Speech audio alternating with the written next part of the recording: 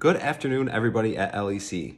Um, first of all, I want to apologize. I know we've had a couple of weeks off from the Trivia Dare contest, uh, and that's my fault. Um, we had midterms and we had some other things going on, and we just figured we'd take a quick break, um, let you guys focus on some other things, and then we're going to jump back into it now for the rest of the semester.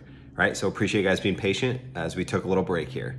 Um, we're going to jump right back into it with Miss Bradian and Mr. Holeczy doing the Reaper Pepper Challenge that way back when Ethan Gerwich was the one that uh, proposed it, and that was the clear winner. So they're going to do that video right now for you.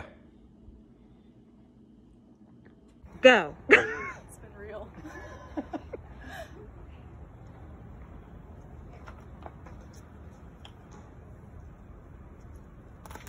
can grab yours.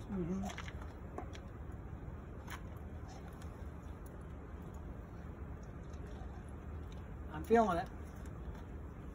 It's not what I thought it would be, but I know it's coming. Like it's it's more mild than you're expecting. Yeah. Ahem. Oh. I don't think they're gonna enjoy this all that much.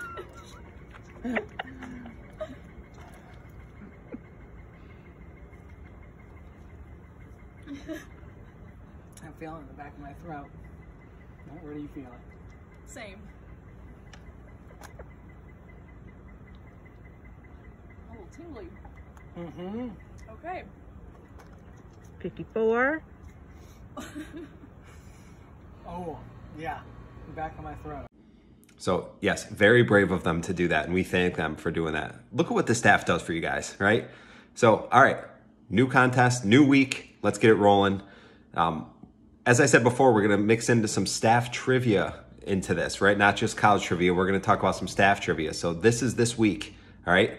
Um, two teachers here at LEC have a favorite animal of the owl, all right?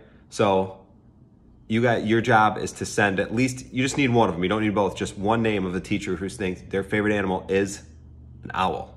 Best of luck. Have a great week and weekend. We'll talk we'll see you soon